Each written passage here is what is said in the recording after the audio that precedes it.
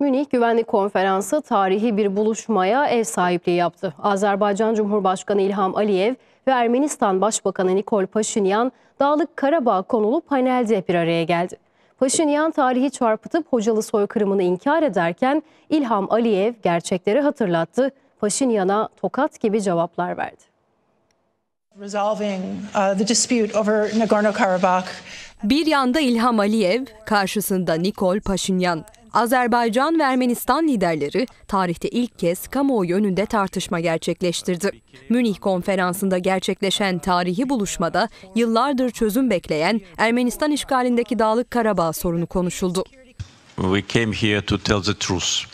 İlham Aliyev sadece sakinliğiyle değil, deneyimli liderliği ve söylem kabiliyetiyle de Paşinyan'ı gölgede bıraktı. Ermenistan Başbakanı argümanlarını anlatırken sık sık kendisiyle çelişti, dili sürçtü. Caucasian Bureau decided to uh, uh, Karabakh to be a part of Azerbaijan, uh, Armenia. I'm sorry. İlham Aliyev, Dağlık Karabağ'ın Azerbaycan'ın ayrılmaz bir parçası olduğunu vurguladı. Azerbaycan'ın toprak bütünlüğünün de uluslararası toplum tarafından tanındığını hatırlattı. Tarihe ve hukuka referans yaptı. Mm, Sorunu nasıl çözeceğimizi konuşurken en önce geriye dönüp tarihe bakmamız lazım. Dağlık Karabağ Azerbaycan'ın toprağıdır. Bu tarihi bir gerçektir ve uluslararası hukuk normlarına dayanmaktadır. Azerbaycan'ın toprak bütünlüğü tüm dünya tarafından tanınmaktadır ve Dağlık Karabağ topraklarımızın ayrılmaz bir parçasıdır. Nikol Paşinyan ise tarihi çarpıtarak konuştu. Mustafa Kemal Atatürk'e bile suçlamada bulundu.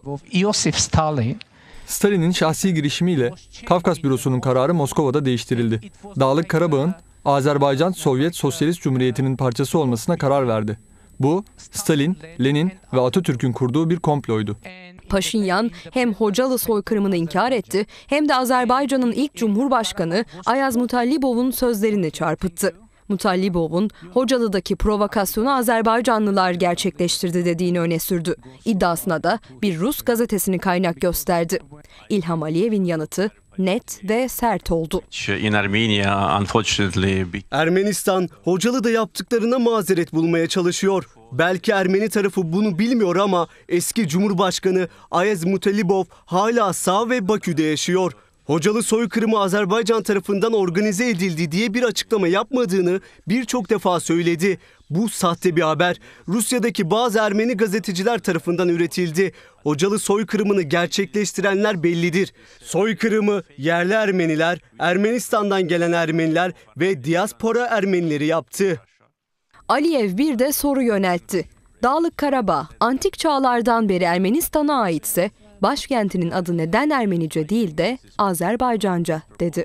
the question: If Nagorno-Karabakh Soru şu, Dağlık Karabağ eğer antik bir Ermenistan toprağıysa neden başkentinin antik Ermenice bir adı yok? Başkentin antik adı Han kendidir. Yani Han köyü. Şu andaki başkentin adı Stepanakert. Kert Ermenice kent demek ama Stepan Bolşevik komiser Şamyan'ın adı. Bu durum bir kez daha Dağlık Karabağ'da Ermeni mirası olmadığını kanıtlıyor.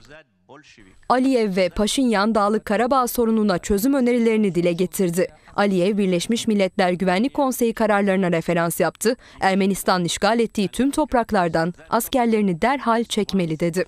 I think there should be more international pressure Uluslararası toplum Ermenistan üzerinden baskıyı artırmalı. Ermenistan Birleşmiş Milletler Güvenlik Konseyi kararlarını yerine getirmeli.